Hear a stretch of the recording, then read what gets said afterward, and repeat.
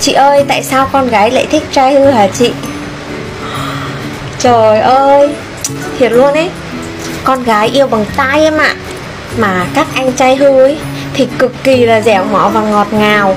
Cho nên là Con gái thích trai hư rồi. Nhưng mà Con gái vẫn rất thích lấy một người chồng đàng hoàng tử tế Để làm chồng ấy